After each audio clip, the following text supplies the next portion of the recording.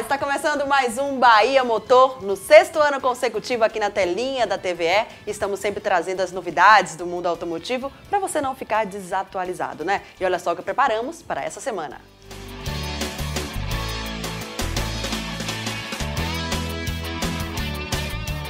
O novo Tracker reforça as disputas no segmento de SUV. Diretor de comunicação da GM do Brasil fala da liderança da montadora. Em retrospectiva, o sucesso da 24ª edição do Rally do Batom e também o tradicional Salão de Detroit com show de picapes. Isso e muito mais você confere agora no Bahia Motor. Um ícone da indústria automobilística, o Fusca, está fazendo aniversário. Os amantes do carro não esquecem sua importância e o Bahia Motor menos ainda.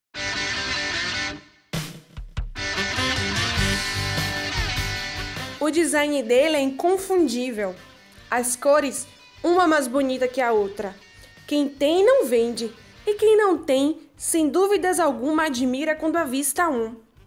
É claro que eu estou falando do Fusca ou melhor, do ícone mundial que marcou época e várias gerações, tornando-se um dos carros mais importantes da história do automobilismo. Elegância, charme e fascínio ele tem de sobra, seja de qual ano, modelo ou cor. No dia 20 de janeiro é comemorado o Dia Nacional do Fusca. Para entender mais a história desse simpático carro no Brasil, nós vamos fazer uma viagem ao passado e relembrar como foi a trajetória dele. O Fusquinha carinhosamente chamado pelos brasileiros, chegou no território nacional com o intuito de ser um carro popular e começou a ser vendido em 1950. O carro vinha desmontado pela Alemanha e não era montado pela Volkswagen, que ainda não havia se instalado no Brasil. A empresa responsável pela montagem era Brasmotor. No ano de 1953, o Fusca deixou de ser montado pela Brasmotor e a Volkswagen assumiu a montagem do carro no Brasil com peças vindas da Alemanha. No dia 3 de janeiro de 1959, foi iniciada a produção do Volkswagen Fusca no Brasil, sendo fabricado com peças nacionais. No ano de 1986, a Volkswagen parou de fabricar o Fusca, alegando que era um modelo muito obsoleto. Apesar de ser o segundo carro mais vendido daquela época, atrás apenas do Chevrolet Monza. Em 1993, a empresa voltou a fabricar o modelo. O carro vendeu bem, mas longe da meta esperada pela Volkswagen. Em 1996, a empresa deixou de produzir novamente o carro, com uma série especial denominada Série Ouro. A partir daí, ele só seria produzido no México. Nesse período, foram produzidos no Brasil cerca de 42 mil exemplares. O Bahia Motor já entrevistou diversos proprietários de Fusca, entre eles Jorge Cirney, colecionador de carros antigos que tem na sua garagem uma relíquia, um Fusca 1949, o mais antigo do Brasil. Fizemos também uma série sobre os 20 anos que já não se fabrica mais esse histórico veículo e conversamos com os integrantes do Clube do Fusca. Conhecemos até um táxi caracterizado, fomos conferir o processo de restauração e estilização de um Fusca 1976. Testamos o modelo mais atual, sem falar que ele faz parte da categoria Speed no Campeonato Baiano de Velocidade na Terra. Essa é a homenagem do Bahia Motor para o Fusca, o único carro que quando você olha para ele, ele está sorrindo para você.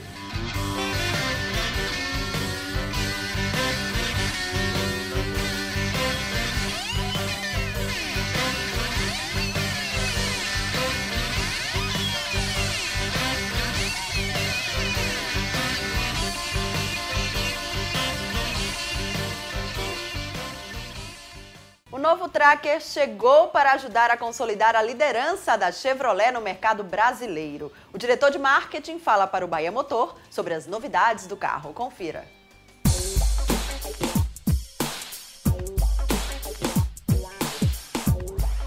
A Chevrolet escolheu o frio de Detroit, a sua casa nos Estados Unidos, para apresentar aos jornalistas brasileiros o novo Tracker, o primeiro SUV urbano equipado com motor 1.4 Turbo Flex de 153 cavalos de potência.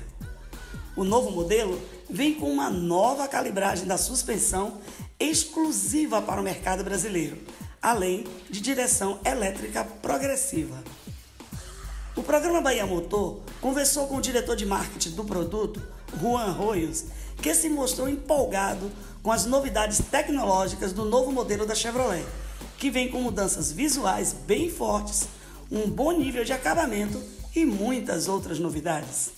Nós estamos lanzando un nuevo tracker y tenemos un motor completamente nuevo que es un 1.4 turbo con 53 caballos que achinden con 25.4 de torque a 2000 revoluciones, eh, a 1500 revoluciones o 90% de la fuerza. Es un motor completamente nuevo con muy buena potencia que también consigue un muy buen consumo de gasolina. El consumo de gasolina en estrada es de 11.7 y en ciudad es de 10.6, muy bom para ese motor. Es una combinación de performance muy bom para nuestro cliente. ese cliente también busca mucho tecnología y en tecnología tenemos eh, alerta de seguridad, alerta de, cambio de faixa, tenemos también eh, sensores traseros, un sensor trasero que avisa cuando hay aproxima, aproximação de un carro en la parte de atrás, tenemos cámara de ré, tenemos unos eh, projetores de LED delanteros com eh, también con luz diurna, lo cual es muy bueno para el carro. También tenemos como novedad, una novedad que ya es una diferencia frente al mercado, que es OnStar. Tenemos un pacote exclusivo que tiene todo, incluso tiene diagnóstico a bordo, tiene todas las ventajas, ventajas que tiene OnStar de, de nuestro resto de producto, más con algo adicional. O cliente puede saber lo que está aconteciendo con su carro de forma automática en la aplicación del celular. Es decir, o celular está conectado con el carro. Conectividad y también también tenemos MyLink, en el cual você tem uma tela de 7 pulgadas e adentro do veículo também você pode pedir com OnStar eh, direccionamento em ruta e, e enviam diretamente a seu veículo, o qual é muito bom. E também na parte exterior ganhamos umas rodas de 18 pulgadas, que é muito bom para o cliente brasileiro. El design es un completamente diferente. O carro ganó un para-choques delantero, una cara mucho más robusta, unas líneas mucho más robustas. El DNA do, Chevrolet se ve en el carro. Todos los lanzamientos que hicimos el, año pasado se también acrecentaron en el tracker con un diseño totalmente nuevo. El, el para-choques trasero también. Las líneas de carro se ve un carro más robusto y con los faros, eh, los proyectores de LED delanteros y las luces de LED traseras también el carro se ve muy bom en diseño nuevo. Pioneira no segmento dos utilitários, a Chevrolet traz o novo SUV Tracker em duas versões e os diversos itens de segurança também foram destacados pelo diretor de produtos da montadora. Sí, tenemos una versión eh, LT y una versión LTC, LTZ. La de la versión LTZ tiene incluso hasta 6 airbags, que ficó con el precio, el mismo precio anterior, lo cual es una muy buena novedad para el mercado. Y en la versión eh, LTC con eh, dos airbags y la versión tope de línea con 6 airbags, lo cual fica un carro con muy buen precio, muy por encima, muy, muy mejor en precio que los concurrentes. El principal objetivo da Chevrolet com o lançamento do novo Tracker é dobrar as vendas do modelo e começar a incomodar a concorrência, mostrando a força do modelo e da marca. Nós queremos doblar nuestro volumen de ventas. Nós estamos con el 2017 es el año de las SUVs para Chevrolet y nós queremos aumentar nuestras ventas. Entonces queremos doblar el volumen y atender un mercado eh, de, mercado de SUVs que viene creciendo. Hoy es un 11% del mercado y nós queremos doblar las ventas y atender más de 20 mil vehículos.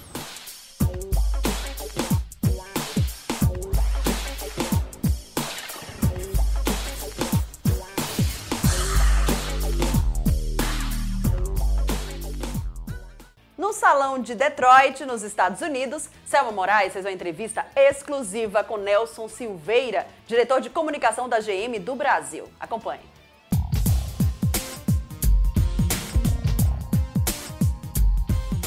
A Chevrolet começou o ano de 2017 comemorando a liderança absoluta do mercado brasileiro, registrando um crescimento de 11,9% de participação com 345,9 mil unidades comercializadas no ano passado.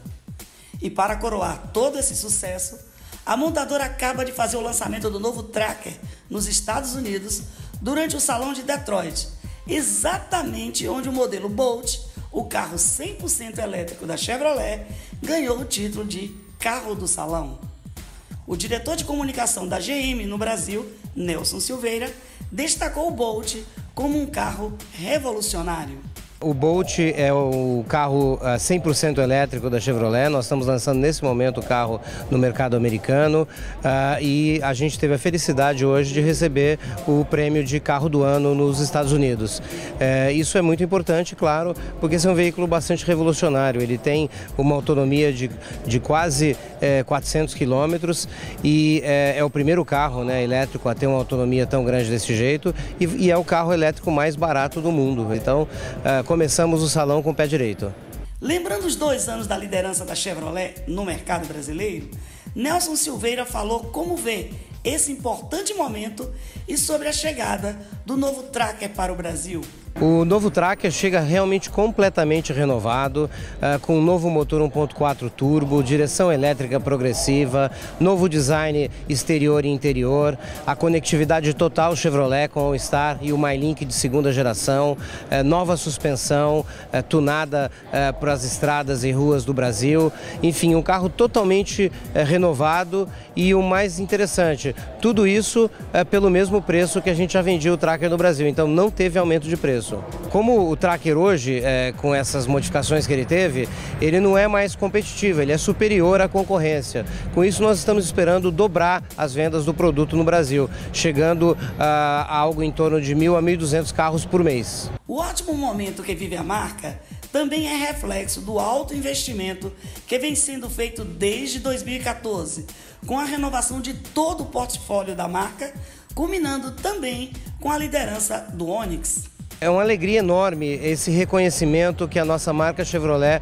recebe do consumidor brasileiro. Isso é o resultado é, de tudo que a gente tem feito para atender o que o consumidor queria, né? Conectividade, economia de combustível, design inovador, enfim, todas essas é, características que o consumidor pede e que a Chevrolet entregou através do maior plano de investimentos da história da nossa marca no Brasil, 13 bilhões de reais que nós estamos investindo entre 2014 e 2019.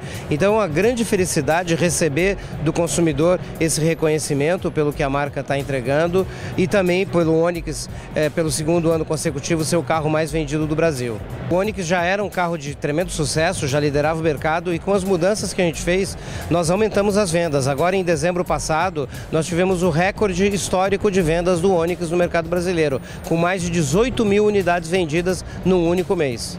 Mesmo com o Onix sendo o grande destaque da marca, já que emplacou 153 mil unidades ao longo de 2016, um recorde histórico para o modelo, o diretor de comunicação falou também sobre os outros carros da montadora, especialmente da liderança da S10.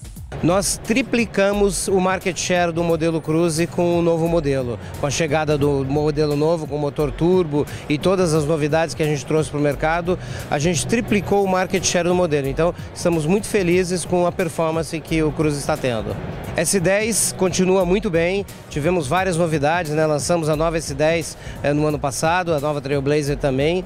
Ah, o produto eh, tem vendido muito bem, eh, tem tido uma performance muito boa de vendas e ah, é, sem dúvida nenhuma, a melhor picape hoje do mercado brasileiro. Esse ano eu poderia dizer que é o ano do utilitário esportivo da Chevrolet. A Chevrolet criou o segmento de utilitário esportivo em 1935, é, com o lançamento aqui nos Estados Unidos da Chevrolet Suburban, que depois deu origem, anos depois, a Veraneio, que todos conhecem no Brasil, a Grand Blazer, Blazer e mais recentemente a Trailblazer. Né?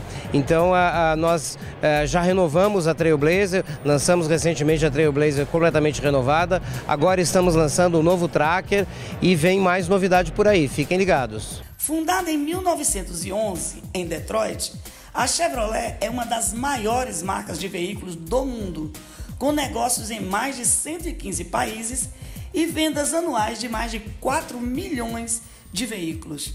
Em 2016, a Chevrolet vendeu no Brasil mais de 345 mil veículos, assegurando a liderança do mercado. E como manter essa liderança?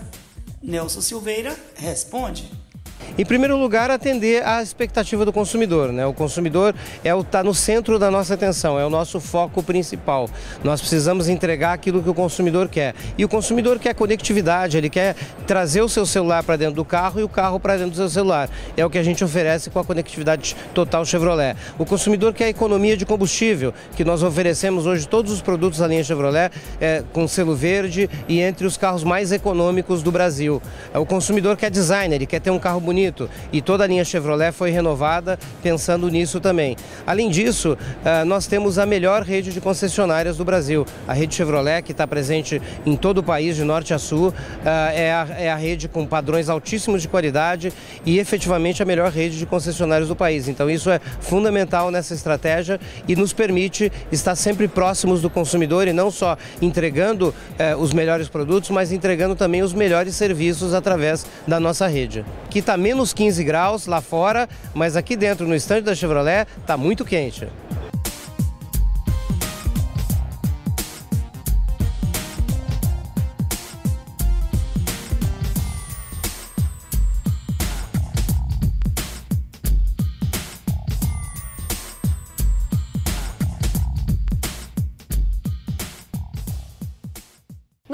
Tradicional e charmoso Salão de Detroit, nos Estados Unidos, destaque para as picapes, carros conceitos e os esportivos. Um show de máquinas.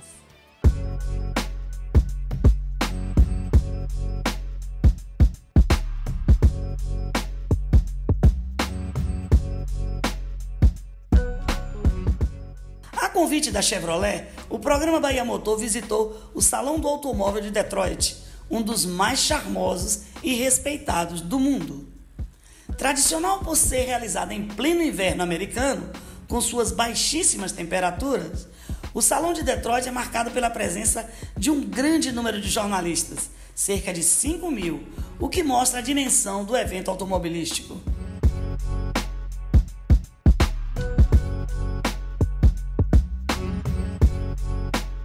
Para o Salão de Detroit desse ano, as montadoras não tiveram tantas nem surpreendentes novidades, mas se preocuparam bastante com os carros elétricos e conceitos, e como não poderia deixar de ser, com a grande paixão dos americanos, as picapes.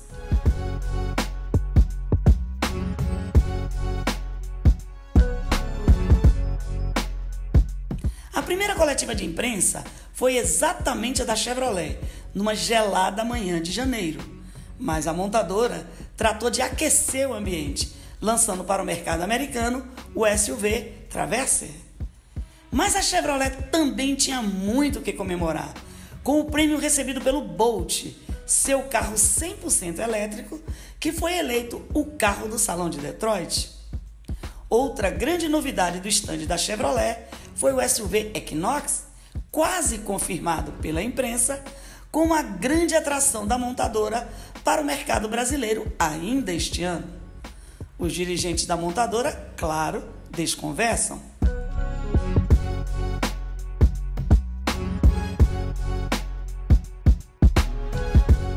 Uma volta pelos luxuosos corredores do salão é um convite para mergulhar na preferência nacional dos americanos, as picapes.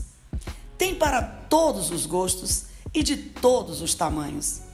Começando no estande da Ford, o lançamento da nova F-150, a líder do mercado norte-americano há 40 anos.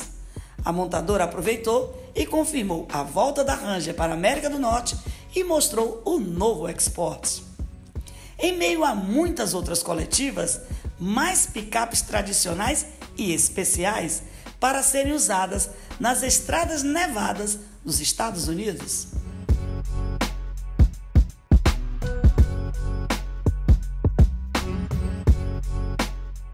Um verdadeiro show de carros, esportivos, compactos, elegantes, bonitos, feios, mas na realidade tinha modelos para todos os gostos. O difícil era escolher um e sair dirigindo pelas geladas e nevadas ruas de Detroit.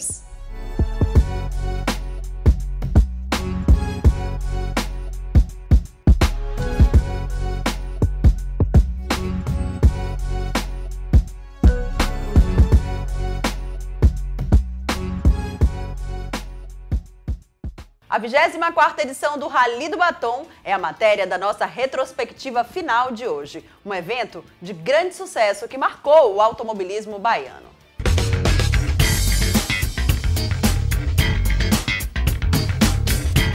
O clima do Rally do Batom começa a esquentar durante a adesivagem dos carros no estacionamento do Shopping Bela Vista. A ideia é deixar o carro mais chamativo possível para se destacar pelas ruas de Salvador.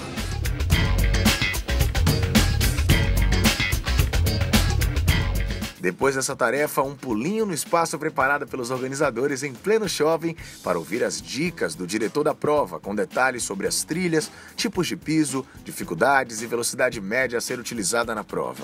As orientações foram passadas pelo diretor da prova, Rogério Almeida, eleito o melhor navegador do Brasil e que dirigiu o Rally do Batom pelo quarto ano consecutivo. Para as duplas, sobravam expectativas, apreensões e uma dose extra de adrenalina, à espera da grande aventura do Rally mais charmoso do Brasil.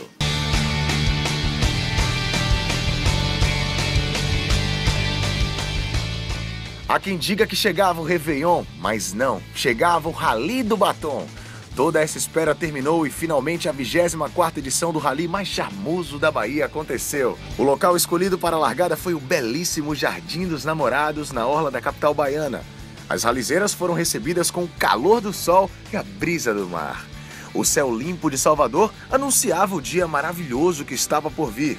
Após o grid alinhado, é hora da largada oficial o momento mais esperado pelos competidores. Já foi dada a largada para o Rally do Batom 2016. O Bahia Motor vai cobrir tudo. A prova começou com as duplas das categorias Graduados e Turismo 4x4, composta por duplas mais experientes, e em seguida partiram para as categorias Expedition, Batom 4x4, Batom 4x2, Convidados e Turismo Light 4x2.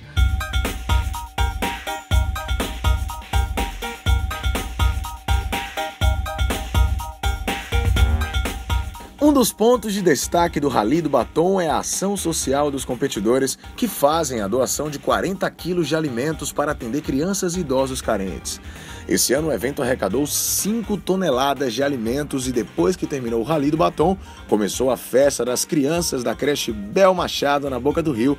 E a festa continuou no abrigo Irmã Maria Luísa, na Ribeira. De lá, a alegria das doações foi desembarcar no Centro Pousada da Fraternidade Paz e Amor. Também foram atendidas as crianças e famílias carentes da comunidade do Nordeste de Amaralina.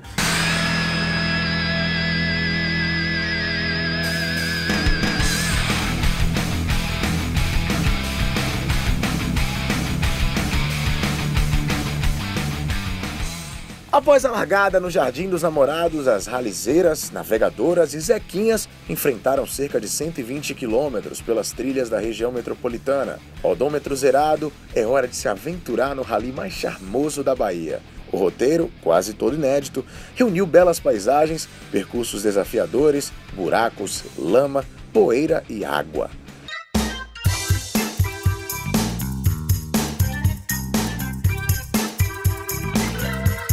Os quilômetros finais da trilha eram vencidos por duplas ávidas para o encontro com a tradicional festa promovida no Catuçaba Resort Hotel. Depois de percorrerem cerca de 120 quilômetros, as alizeiras foram recebidas com uma deliciosa feijoada típica do hotel acompanhada de saborosas sobremesas. O evento contou com a presença de várias autoridades, como o presidente da Confederação Brasileira de Automobilismo, Cleiton Pinteiros, a representante da ONU Mulher, Nadine Gasman, que foi homenageada durante a festa, e a secretária de Políticas para as Mulheres do Estado da Bahia, Olivia Santana. Quem também participou da festa foi o prefeito de São Francisco do Conde, Evandro Almeida, que estava acompanhado do vice e de vários secretários. Além da entrega dos troféus, também foram escolhidos o garoto e a garota batom e o carro mais enfeitado. O Rally do Batom é organizado pelo Automóvel Clube da Mulher, com supervisão da Federação de Automobilismo da Bahia e Confederação Brasileira de Automobilismo, e tem o patrocínio da distribuidora de combustíveis Petro Bahia, do Governo do Estado, através da Secretaria do Trabalho, Emprego, Renda e Esporte, e o Faz Atleta. A competição conta ainda com o apoio do Capsaba Resort Hotel, da Chevrolet, Shopping Bela Vista e Prefeitura de Salvador.